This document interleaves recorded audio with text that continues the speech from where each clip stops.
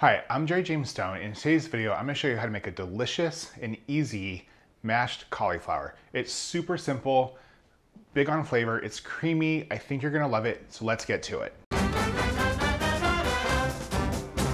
Okay, so the first thing that we're gonna do is actually cook the cauliflower. Now, these days, luckily, you can easily find rice cauliflower at almost any grocery store. If not, I have a video that you can watch on how to make your own using a full head of cauliflower. It's super simple, but honestly, if you can find the pre-rice stuff, I recommend doing that. So that's our first step. We're gonna take that and we're gonna cook it with just enough water to cover it, bring that to a boil and just cook it for about 10 minutes just to make it really nice and tender.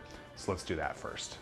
Okay, so just gonna add enough water to the cauliflower just to cover it, like about by like a half inch. And then we're gonna bring it to a simmer and let it cook for about 10 minutes until the cauliflower is just nice and tender.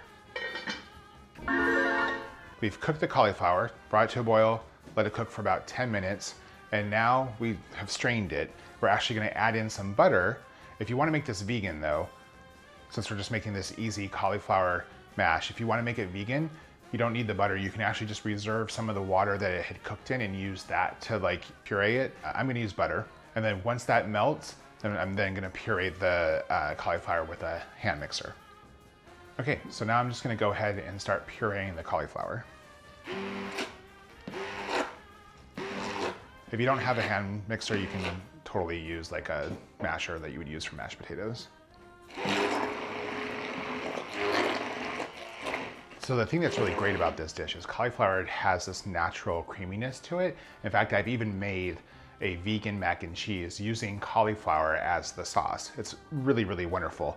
And so you don't actually have to add a whole lot to this to get a nice, delicious, creamy, mashed quote unquote potato. The thing that's also nice about cauliflower versus say making mashed potatoes is that you can easily overwork potatoes when you're making mashed potatoes and they start to get kind of gummy and it's just from the starches in there. But cauliflower doesn't have that problem. So you can't overwork them when you're making mashed, quote unquote, cauliflower mashed potatoes.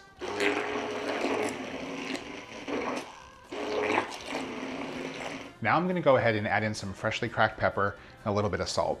Just whatever you wanna do to taste. Just gonna mix that in. Okay, so just to recap, we cooked our rice cauliflower, strained it, pureed it. I did it with some butter. You can definitely do it with uh, just the broth from the from actually cooking the cauliflower. And added in some salt and pepper, and now I'm just gonna top off with some chives. And boom, that's how you have a delicious and easy cauliflower mash. If you like this recipe, hey, give me a thumbs up. If you wanna see something in particular, drop a comment below. And if you like to cook like I do, I release new videos every single week, so please subscribe. I'll see you guys next time.